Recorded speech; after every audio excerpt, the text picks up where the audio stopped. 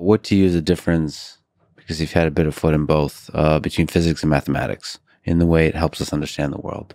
Well, there's to be frank, there's a lot more overlap in physics and math. I think than has been. I mean, well, maybe not more, but there's certainly a lot. But I think again, the kinds of questions you're asking are usually different. Um, mathematicians like the structure itself. Mm-hmm. Physicists are trying to concentrate on, to some extent, on the consequences for the world. Um, but there is a lot of overlap. The string theory is an example. There's certain theories where there's a, a, a certain kind of mathematical beauty to it.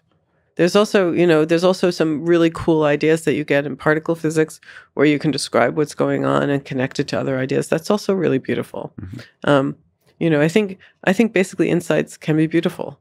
Um, you know, they might seem simple, but sometimes and sometimes they genuinely are, and sometimes they're built on a whole system that you have to understand before. I mean, if you actually saw Einstein's equations written out in components, mm-hmm. you wouldn't think it's so beautiful. Mm-hmm. You write it in a compact way; it looks nice.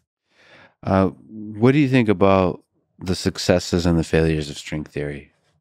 To what degree do you think it's succeeded? To what degree is it not succeeded yet or has failed? I think to talk about any science in terms of success and failure often misses the point because sure.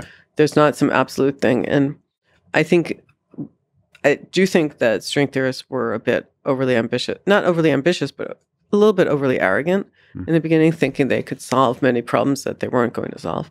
That's not to say the methods and um, advances in string theory don't exist, and um, but they certainly weren't able to immediately solve all the problems they thought they could solve.